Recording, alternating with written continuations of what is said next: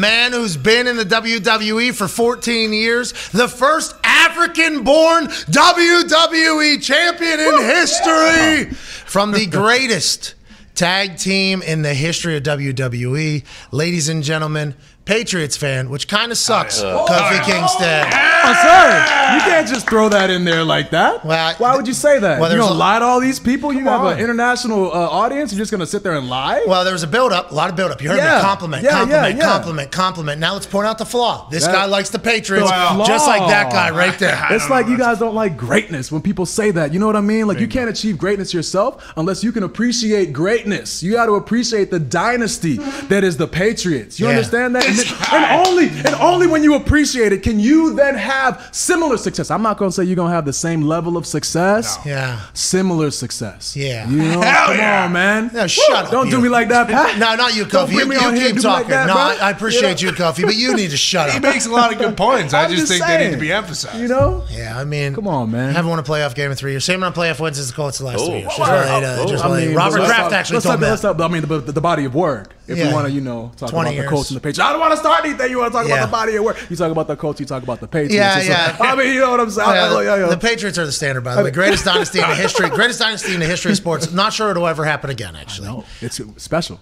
Very special. uh, did you play football growing up? What did you do? I did. Up? I, I played football in high school. Um, I played D back and a little bit of running back, but my hands were very small. I couldn't catch. You see, you see, I couldn't catch out there, but I could swat the passes down. Athlete. You know what I mean? Yeah, I was out there, and uh, I actually wrestled too in high school. Okay, yeah, I heard you wrestle. By the way, I believe Yeah. Connor Yeah. from similar. Yeah. Go high. Sachems. You know what I'm saying? Sachems, baby. Yeah. Yeah. Same high school. Woo! You know? Same team you like in the NFL. Yeah. What? Same Lot of- hatred from every other fan base. What? Come on. Yeah, that's what I'm talking about. It's, uh, uh, you yeah, know, we just it- went back to it. Yeah, yeah. It's it's it's a thing. You know, Uh, you re- expect it though. professional wrestling. Yes. Was that always the dream? Was it always something you wanted to get into? Because I Yeah. talk to everybody that's in the WWE right now, especially the black dudes. Kofi, you are a guy that everybody Oh, looks up to. Obviously, like Booker T, and there's greats that have come before you. But it, with this generation, you are the guy that everybody's looked up to. Even the guys in the New Day, I've talked to them. Big E, Xavier Woods. They're like, well, actually, we looked up to Kofi, and then now getting to work with him was a big deal. So, did you always want to do it? Did you know you were going to be a wrestler? Yeah, it's crazy because I feel like everybody has a moment where they realize, like, oh, Oh, I saw this match and then I knew I wanted to be a wrestler, or this happened. I met this guy. For me, I feel like I've always been a fan. I can't remember a specific moment. Yeah. I used to watch Saturday Morning Superstars, you know what I mean? And just like it was a part of my routine. Every Saturday, like religiously, that's what I watched. When Raw came out initially and wrestling wasn't cool, you know, I was one of the only people that liked it. But then Stone Cold and The Rock and the Attitude Era Right. come around, and then everyone's giving each other like Stone Cold Stunners in the hallway, and I'm like, wait a minute, this uh, you, you guys, this wasn't cool to you, You yesterday. You want to jump on the bat? You didn't even ask me. You know what I'm saying? This is my thing. But um, yeah, I feel like I've always been a fan, man, and uh, I've just been attracted to the, the the glitz and the glamour and the fireworks, and particularly like you know, for example, Ricky the Dragon Steamboat was one of my guys, and he uh, had like the martial arts, the high flying, you know, and I, you know, the bright colors. He came with the Komodo dragon, breathing out fire. Like, how could you not be attracted to this? You know what I mean? How could you not be drawn to this? So, yeah, man, just the spectacle of it all really drew me in, and I've always been a fan of it. Well, and I think the WWE is very thankful that you've been a fan forever because your athleticism, the way you go, your energy, the mic work, like New Day is a groundbreaking, trailblazing group that's going to be talked about 50, 100 years from now. Yeah, it's been a lot of fun, and it's funny that you say that because like we don't really think about like so far down the line because we're still in it, right? We're still trying to make great moments. We're still trying to be great, and um, but when you look at like our body of work and the things that we've done, we've done so many just special things. Why do you had so guys many- work, you think? Why do you think, you guys it- work? It's just the chemistry, man. It's the chemistry. Uh, it- it's a very real brotherhood. Like I'm even, I'm gonna get, I'm getting like emotional even like thinking about how much love I have for for Woods and Ian. We talk about it probably at least like a couple of times a month. We just will sit there and just start gushing uh, just how much we appreciate each other on text. You know, uh, it's a very real bond, man. I feel like if you are lucky enough to meet one person that you connect with, that you bond with, that you identify with, it, you, you're you're lucky, right? Like it's a it's a you know, just it's very unique. You're not supposed to meet people that you get this close to, and I met two in the same industry. We have the same vibes. We travel together. I think we've been a group since, officially since what 2016. I think we debuted. We've never had any kind of like argument, any kind of fights or you know disagreements. We're always supporting one another, and we just want the best for each other. So it's just a real bond when we're out there like we're trying to pop ourselves, man. We're trying to just have fun and make each other laugh and make each other break Man. out there, and everybody gets to watch it and uh, and, and enjoy it. So. Yeah, some of the stuff you guys do. Yeah, yeah. You, need, you need to relax. Yeah, yeah, yeah. you know, like in the commercial breaks, we go straight to Pat. We start messing with them, taking pictures, and you know, I think I was. Uh, I got know, Kofi twerking in That's what I was about to say. You know me, like I'll shake my hips. I, I'm a, Yeah. am a, I'm a twerker. Yeah, you know, 2 I'm minutes I'm straight. This guy right you in front of me. Look at me. And then you wanna make He's eye screaming. Yeah, look at me. And then Biggie, yeah. look at him, Yeah. And I'm like yeah. sitting there, like, You all know what right. I mean? Don't look right. away. Don't He look hit away. me with a pancake in New Orleans. Yeah. You guys are coming out, hit me square in the face. pinpoint accuracy. Yeah. You got to keep your head on a swivel out there. A lot of people, like, you know, they'll be sitting there, like, texting. I don't know who you're, who you're talking to, but you need to be focusing on what I'm doing in there. Because Yes, if I you're learned. not, you might catch that pancake right in the cheek. You know? Got you just ass. might catch a pancake in How the many cheek. years you guys throw those pancakes for? I think it, what, maybe like three, four years or something Straight like that? every show. They're coming out with pancakes. Yeah, there had to be a thousand of them Oh, made. yeah. And you guys were throwing pancakes. at- Slanging them, bro. And that, Slanging them. That was also with the Booty-O's, I believe. We had Booty-O's. We tried to get ice cream. Um, that didn't become a real thing, but you know, we, we do what we can out there. The fact that we even had pancakes out there, like I think we had a, uh, it was a lumberjack match with me and E versus I think Kevin Owens and Sami Zayn. Woods was on the outside. It was all the lumberjacks, all the wrestlers outside, making sure that when we got thrown out of the ring, they throw us back in. But Woods They is, beat you up, too. You know, yeah, yeah they, they, they give you a little something and then throw you back in, get your ass back in there. You know, but Woods is on our team. So he's like not just a lumberjack, he's the chief jack. You know, he's the chief jack, so he's got to stand out. Oh. So lumberjacks, of course, they wear their uh, their flannel, right? So Woods had I don't know where, like where you find flannel in a towel. You know what I mean? Like a flannel vest. He just went out, found one, got a flannel vest, cut the sleeves Walmart, off. You know, he's wearing that. He's wearing his like lumberjack hat. And of course, lumberjacks have pancakes. So now he's out there with the pancakes. And the only thing the people cared about in that entire match was the plate of pancakes that Woods was sporting. We're out there taking bumps, getting hurt, getting thrown out, getting beat up, and everyone's talking about we want pancakes. I'm like, God, you gonna cheer for me or what? You know? Uh-huh. So pancakes were born the next week. We just went to Vince and we were like, Hey, can we bring these out again? It's like, Do you want to bring them out? Is that what you want to do? So yeah, yeah, we think the people might the people might like it. All right, go take them, go, go, go. And there and pancakes were born, you know. So we And just then, like, slinging those then like six bro. months later, you go and you're like, "Hey, I think we're done with the pancakes." No, they love the pancakes. God, God, I, God, I have the pancakes. so, so, you know, Woods plays trombone, and for a while, like uh, it was me, Ian Woods.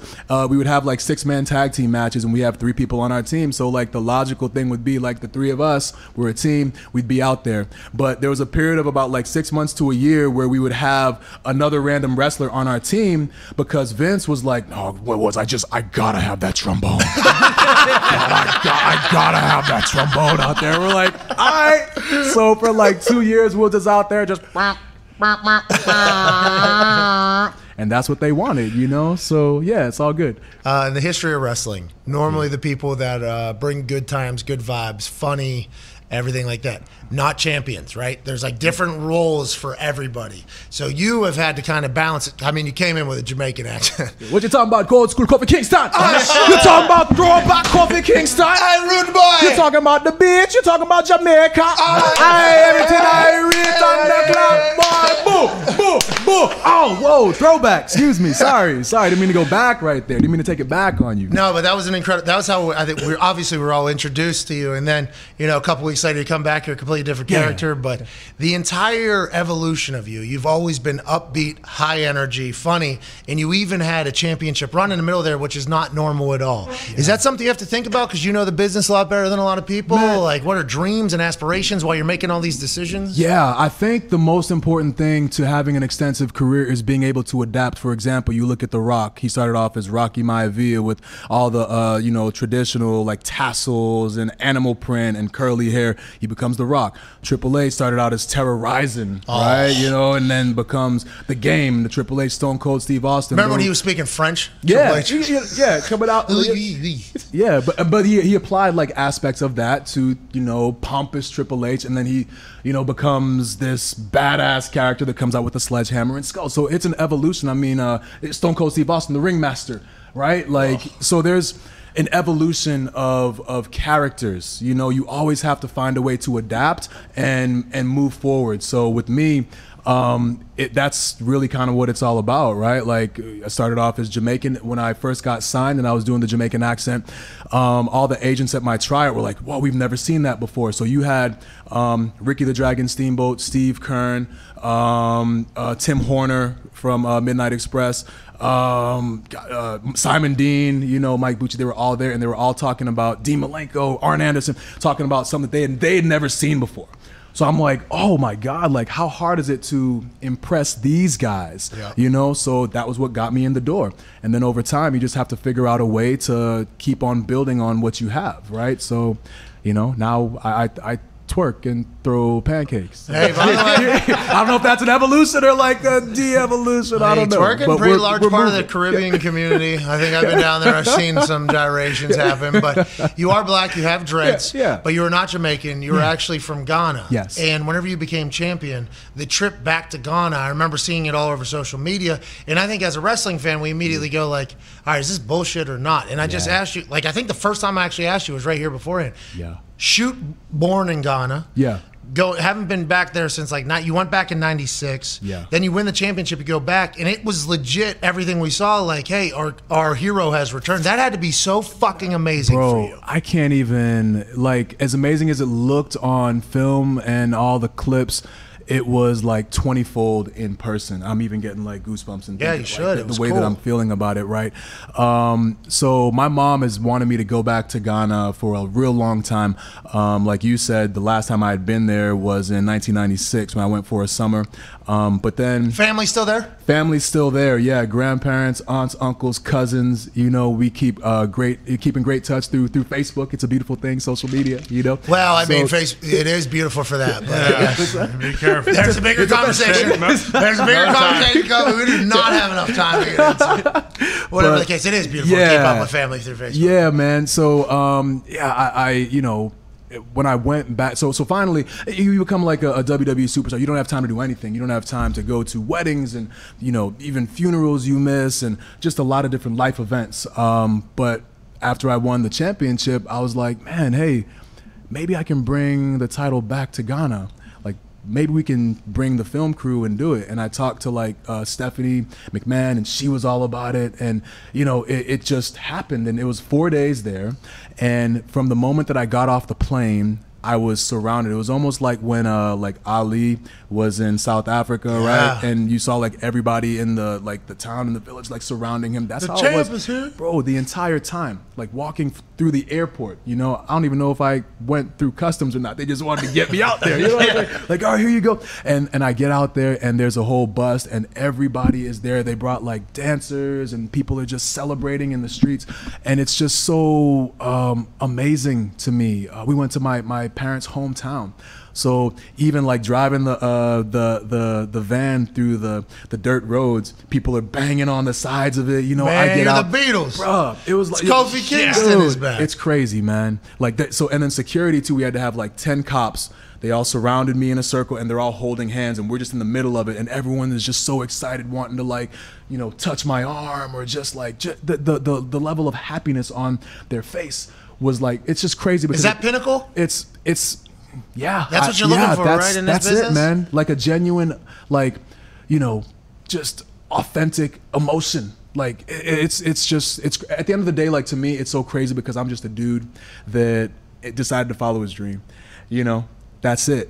Anybody could potentially be in this position, and the fact that I am the Oh, I mean, in, in theory, in theory, in I think theory, with, yeah. with Work hard work, like, you know what I mean. Like a lot of there's got to be a lot of luck involved. There's a lot of luck for me. Luck, yes. But um, yeah, to to have that kind of an impact on people's lives, and then to go to like the schools.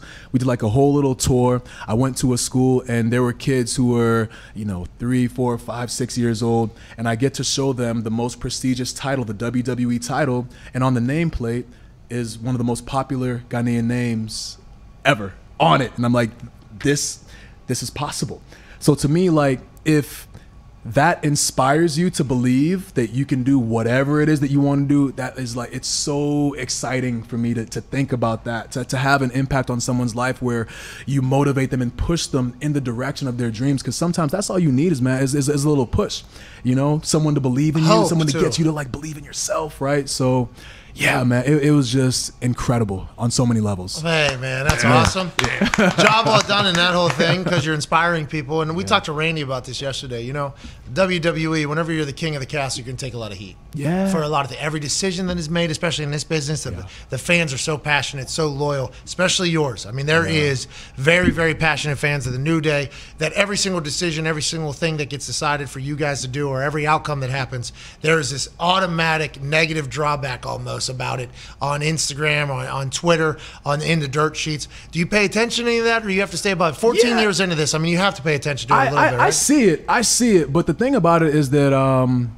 I feel like we have a general, like a, uh, an intrinsic drive to fit in. Even when you're a kid and you're in like middle school, you want so desperately to fit in to the point where you might compromise your own morals or beliefs just to fit in with this group so you can be accepted. So when it comes to social media, there's so many people that like in an effort to fit into this like toxic group, you want to go in there and make like Yeah, comment. You want to you want to yeah. run people down so you can get likes on your comment so that people can. So it, it's it's very toxic in a lot of ways. But for me, like I hold myself to the highest standards, so nothing that anybody says can make me feel like worse than I feel. You know what I mean, or, or any better because I just hold myself to a high standard. So I don't really allow any of that to really affect me. Uh, I certainly do appreciate the positivity that's out there, and again, like just having an influence on people's lives to to push them in a, in a positive direction.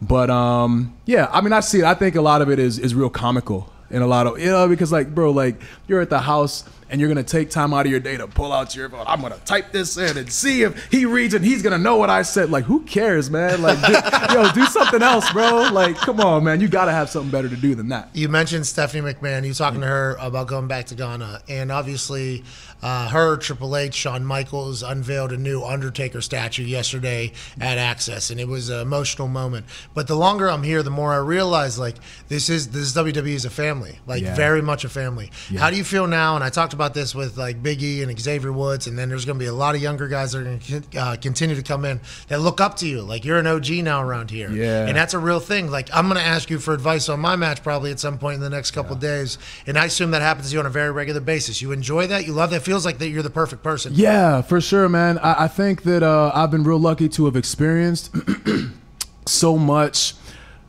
success and so many positive uh, moments in this industry, and that's what this is supposed to be, man. Like this is a dream. There's nothing else that is like this. So whatever I can do to um, to help people get to that point and taste how the the the the, the sweet nectars of the industry and and you know what I mean? Like feel it the way it's supposed to be felt. Of course I'm to be right there to like to help you or give you advice. And it's just an opinion too. Like I don't get mad if like people don't listen to what I have to say because it's really like what you feel man. Like do what you feel do what's in your heart.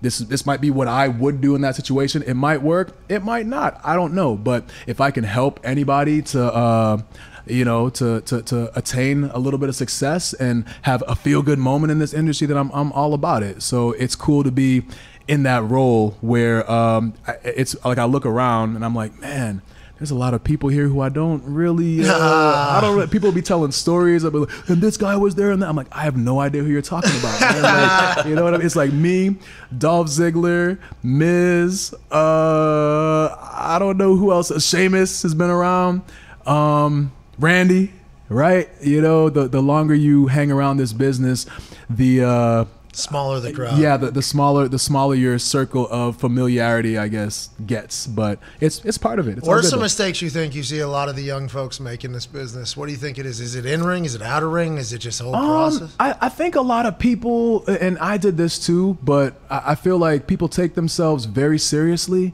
and you forget to have fun. To me, that's the biggest mistake. And I'm real lucky that I had uh, Scott Armstrong as a ref for the majority of my, uh, Hey, my he's early had some matches. blown calls though. Let's not He's get had- crazy. hey, he- he's a quick Hey. tapper every once in a while. That guy. Hey, you Hey, gotta I- do you gotta do what you gotta do. He's right? lucky I wasn't know? on commentary for that. I, I call out the refs every. Hey, look at the damn. Oh, yeah, I enjoy it. you know but he, he was a guy where like initially i would come out and i'd be so nervous and you'd be thinking about like what's supposed to happen in the match. Okay i need to be here. And you come out and you you know slap hands with the people but you're not actually like there. You're not feeling it. You're not taking that moment. And then you get in the ring and you're waiting for your opponent to come out. And scott will be like hey boy. Hey man. Take take that take this all in man. Take a moment. Breathe. Look at all these people here man. They're here for you. And you take a look around. It's like wow this is actually really really cool Well, why is that guy telling me to go fuck like, yeah, I know. It's like, why doesn't he like me? He doesn't even know me, but it's still pretty cool. He's talking to me out there, you know. So I think Being a lot present, of people, feels like. yeah, being present, and especially like early in your career because you don't. There's nothing. The more you, uh, it, it never really gets like like old. I guess it's always exciting when you get in there and you're out in front of the crowd, but it's never quite like it was when you first come in. You'll never have that, you know, those initial butterflies and that just feeling of wanting to go out there and kill it more than anything. Like this is your opportunity. I think people get nervous in that moment, but I would hope that you would take that nervousness and like, you know, let it make it into something positive, you know, and and let it let it drive you to have a best ma- a, a good match or have the best match on the card. So, um, yeah, I think I think being present was would be a a lot quicker way to No, no, it's a great description. Me, I'm long-winded now. You know No, what I'm you should be. So- You're a great talker. You're a great talker. I mean, I've I've been given the chance to do one promo, and the music got hit in the middle of my thing too. I'm a long-winded person. as well. Yeah, hey, I you think know? came in the middle of that whole thing. Yeah, yeah. You said you're chasing that. In I think as a fan of wrestling, we've seen like the older guys come back and like chase that feeling again, chase that feeling again. Yeah. Have you thought about because you're 14 years into this, you can go for another decade plus if Ah, you if you want it. Have you thought about all that, or are you just trying to be in the moment? It's yeah, man. I just kind of try to, t- like I said before, like I'm still kind of in it. But if I was to tell you that I've never thought about like when to end it, you know, that would be a lie. I, I don't know. I still feel pretty good. I think that when you show up to work, and this goes for like any job, but if you show up to work and you're not having fun and you're miserable and you're complaining and the environment is weighing on you and you're taking that negative Yes. emotion home, then from a mental health perspective, like you should probably get out. But for me right now, I'm having fun out there. Anytime I'm out there with Woods and E, like it is just we're on cloud nine, man. We're having so much fun out there, and then just to be able to interact with the people, and especially like you look into our audience and you see such a diverse crowd. You see all the kids out there, and um, to put a smile on a kid's face is a pretty cool thing. I think that one the, one of the things that I say this a lot, but one of the things I miss the most is when we got to be bad guys, and I came out and I could yell at kids, I could oh. berate kids, I could threaten to ground kids, I could tell you to respect me because I'm an adult, you know, don't make me come out there and do what your parents should have, you know what I'm saying? Like, I miss that so much. But just to be able to like make people react and, and feel a certain way is the best part about our business. Yeah, it's fantastic watching you work. The commercial breaks you guys are on the Yeah, entire time. yeah, yeah, yeah, yeah. You know, and that's like one thing I've realized about like the separation of, you know, who it seems like oh these people whenever it goes like when they're out there, this is a show the entire time. Yeah. Even if the lights are off, even if there's something going on somewhere else, like you, Xavier, and Big E, even if you are in the background of a shot, it's like, hey, the new day is going to be an additive to this particular scene because they're only getting however many opportunities. Like the viewing, the way you guys view your opportunities, I think is very, very inspiring. Yeah, man. Yeah. Yeah. Mm-hmm. Now, follow up. That Big E shit was crazy. That was right in front of me, dude. I- So I, I almost that was I almost got like I got Yeah. like sick almost. So the crazy thing about it is that like what was supposed to happen um, was I was in there. Um, he was supposed to have that interaction on the outside.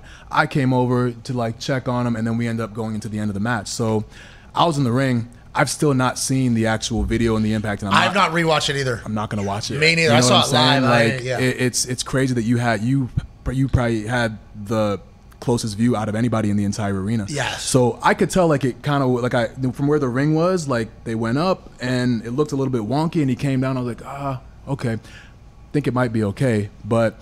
Now I go over there to like actually shoot check on him, and I'm like, okay, he Shoot, by the way, means real. shoot real. That's Yeah, the yeah, yeah. inside insider speak. Yes, Shoot yes. check on him for real. So I went to go look, and I'm like, okay, he looks like he might be okay. And then we end up going into the rest of the match, and it wasn't until um, like the match was over and the ref came over and said, I don't know if he's okay.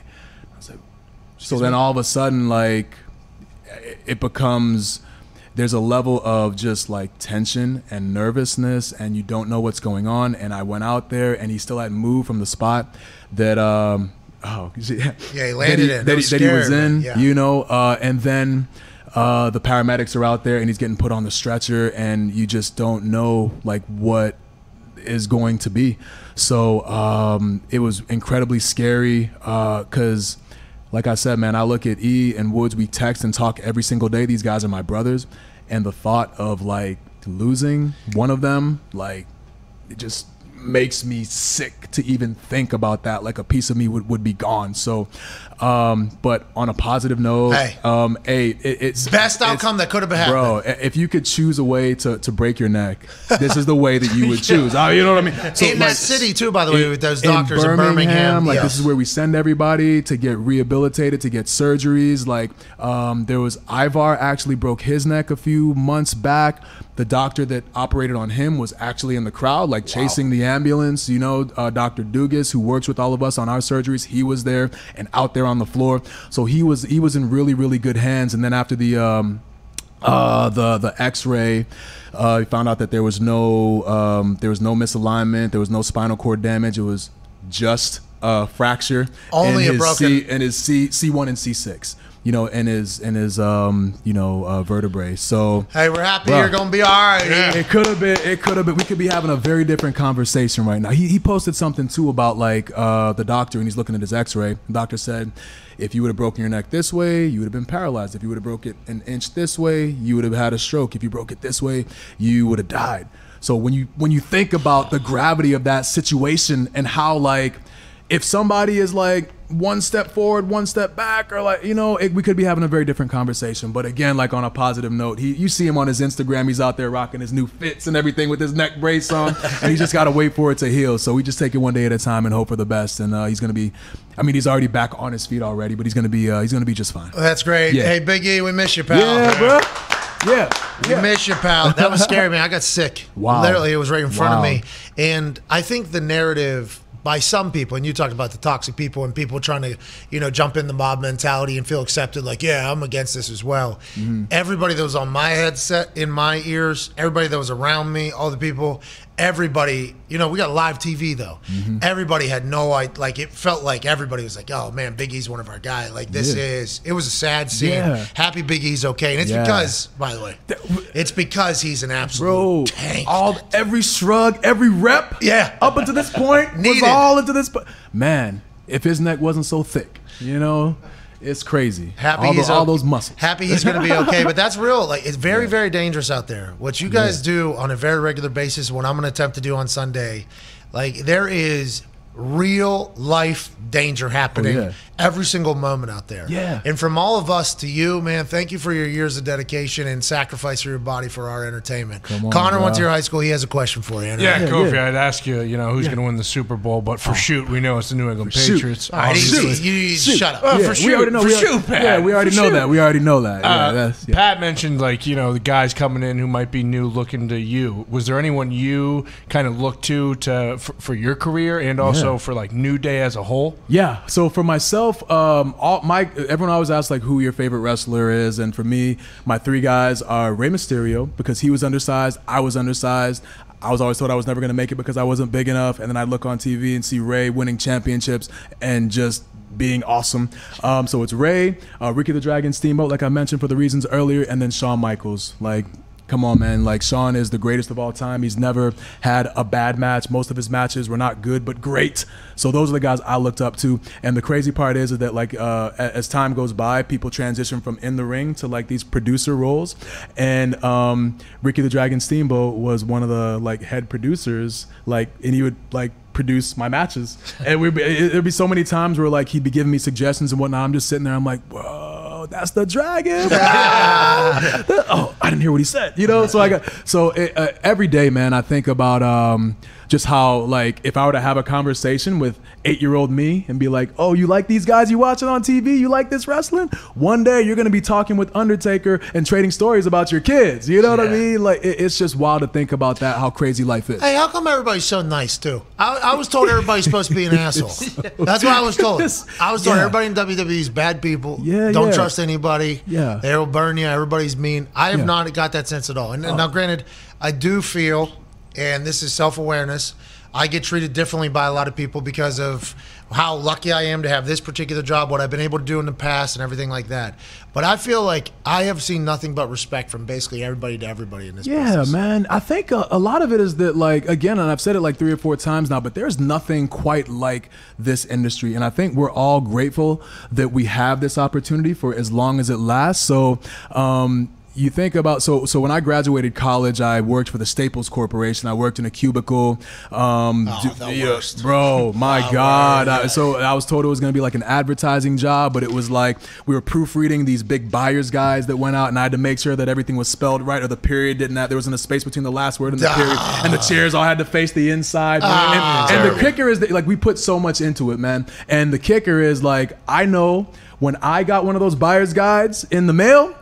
Straight in the trash. so I'm working hard. I'm getting yelled at that my, my pages aren't looking right. And I know I'm like, well, it doesn't really matter. Like, this is going in the trash anyway. Like, why are you getting.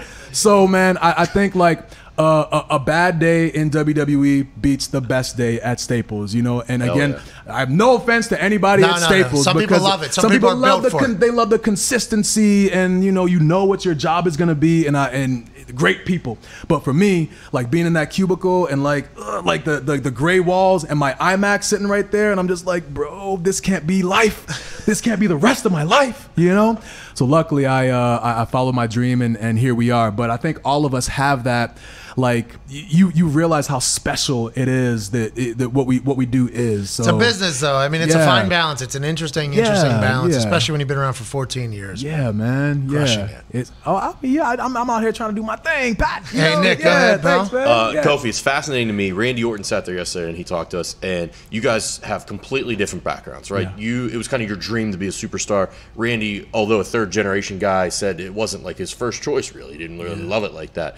Um, you guys, you have this super positive attitude. He was self-described as uh, a dick, a, a judgmental dick is what he calls himself. Uh, so I'm just curious, like you come from these different backgrounds, you get into the WWE, and then he mentioned how he had a moment where a light bulb went off, where he figured out, like, okay, I'm gonna appreciate this, I'm gonna learn how to work, and I'm gonna take care of everybody. I was wondering if you had a similar moment where like a light bulb went off, where it was like, okay, this is how this is how it's done. I see how it's done from the mm-hmm. older guys, and I'm gonna pass this along. My my light bulb moment was again like I always wanted to do this, and I always say like so when you're a kid, right? Like people tell you you can be whatever it is that you want to be, but then when you get to be an adult, you start getting to like college, and everyone's like, okay, well you got to focus, you got to get through, Yeah, you got to get to your school too, corporate yeah. job, you got to be able to climb that corporate ladder, and when you tell someone you want to do something that's outside of the box, a lot of people don't support you because it's so atypical. It's like you can't be a wrestler. Well, you're not big enough. You're not. You don't look like these guys. Your your legs are real. So you got real chicken legs, bro. You got you got all sternum. You don't have any chest muscles. You know what I'm saying? You can't be a wrestler. You know. So for me, like um, my light bulb moment was when I did actually pull the trigger and decide to start training.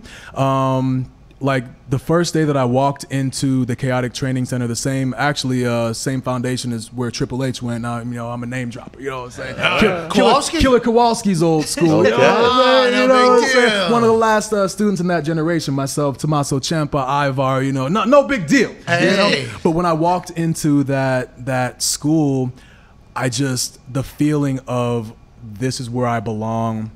I'm gonna do whatever I have to do to make it here, you know. So it was a lot of just sacrifice and a lot of hard work, a lot of long days. I worked those nine hour days at Staples, drive an hour to practice, practice for two or three hours, drive back to my apartment in Boston, you know, re- wash, hell. rinse, and repeat, you know. Sore as hell. But I but but I knew that it was like I was working towards what I loved and what I wanted to do, so I didn't care, right? Like if it was a cold day outside, having to drive to, to Staples, I would be pissed off. You know what I'm saying? but if I was like sore and I couldn't walk and move, I'd be like, yeah, can't wait to go to practice. I can't wait to go to practice. I can't move, but I love it. So that was kind of my light bulb moment is that um like I just realized that I really wanted to like achieve my childhood dream and then there was like a realistic chance that I could do it, you know? So That's yeah, awesome. yeah, Then you yeah. start throwing pancakes at people. And now we throw pancakes and we twerk, and here we are, impacting the lives of millions. Hey, of tomorrow America. night, Yeah. obviously SmackDown tonight. I don't know uh, what's going on there, but